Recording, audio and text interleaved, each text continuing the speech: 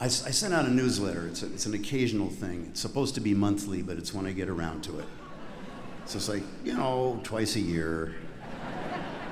It's more than that, but it's, it's irregular. It's not, it's not scheduled. But I try to keep it entertaining and, uh, you know, engaging. I talk about different things. I talk about my 13 year old girl a lot. She's always good for material. But I, you know, I talk about the artistic process. For instance, I can tell, I can feel and hear, I can feel that you are a sensitive crowd, an artistically sensitive crowd. And I talk about the artistic, you know, the arts sometimes. And it was a, a recent one where I was talking about the inspiration, the process of inspiration, and the muse. And, you know, when you're getting ideas. The point is, when you're getting ideas from the muse, you can't argue. You don't want to talk back to the muse. You just got to take what you're getting and go with it.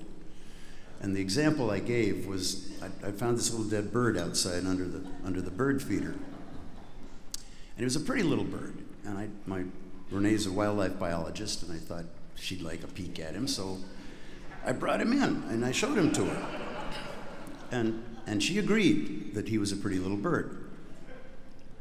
But she suggested that I should write a song for him and honoring his short life here, celebrating his, his brief time with us. You know, perhaps touching on the transitory nature of beauty that lies at the heart of life itself. And, you know, you know, like that.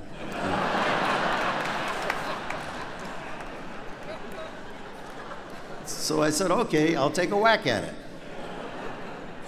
And when I sat down to write the song, you see, it was a great idea, but when I sat down to write the song, what came out was, oh, the bird is dead because he bashed his head on the window by the kitchen.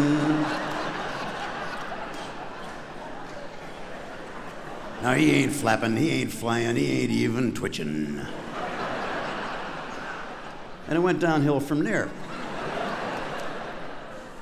But the point is, it's not my fault. The muse made me do it.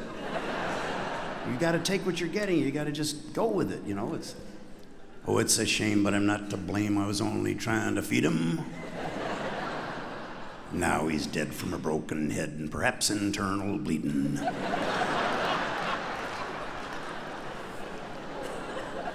so, if you sign up for the newsletter, that's the kind of stuff you'll get.